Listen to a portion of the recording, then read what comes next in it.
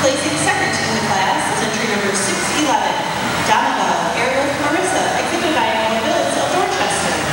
And our winning entry is entry number 606, Craig Atwood Anna, 9121, exhibited by Roseanne Craig of Waterloo.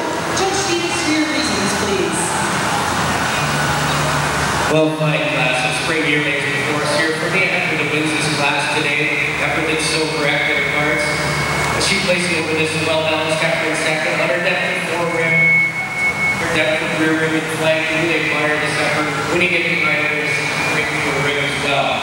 Second over third, close placing, but I just prefer that refinement at home, refinement all the way through over this well effort third.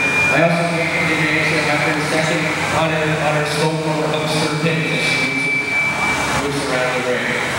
Third over four, uh, close placing, it just pyramid, length all the way through. She's following for an angle for a midsection, but a really well balanced after her four. Fourth over fifth, an easier placing, however, than just four fast or four straight through rim, more depth of fore rib, and rear flank, and more spring all the way through over the well balanced after her fifth. Fifth over six, I have to just showing more refinement today, femininity up to her head neck and down to her thighs, but a well going up her here fifth. Thank you.